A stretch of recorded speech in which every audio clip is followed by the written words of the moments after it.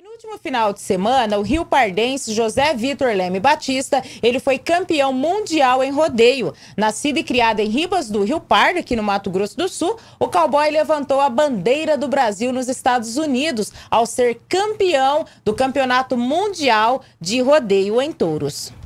No maior palco da montaria profissional em touros, o Rio Pardense José Vitor Leme foi campeão no rodeio internacional em Arlington, Texas, José Vitor Leme conquistou o Campeonato Mundial de Rodeio em Touros da Professional Bull Riders em 2020.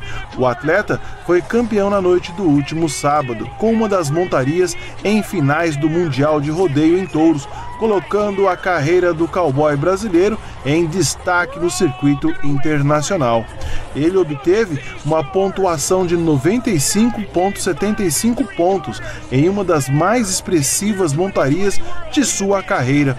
Com a vitória, o sul-mato-grossense embolsou o prêmio de um milhão de dólares e a tão cobiçada fivela de ouro. José Vitor enfrentou o touro número 1 um do ranking da ABBI, American Book Bull, o touro Upa. Em plena forma, o cowboy domou o poderoso touro, que pulou muito, em uma bela exibição por 8 segundos, obtendo a melhor nota da noite. Após conquistar o título mundial em rodeios de touros, José Vitor Leme concedeu uma entrevista a uma emissora norte-americana. Ele explicou estar vivendo um momento mágico em sua carreira e quão foi difícil conquistar esse título.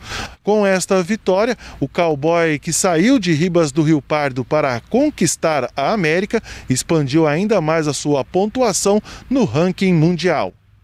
Em uma rede social, o cowboy postou um vídeo da época que morava em Ribas do Rio Pardo e sonhava ser um cowboy profissional. Nesta época, ele já pensava em ser campeão do mundo.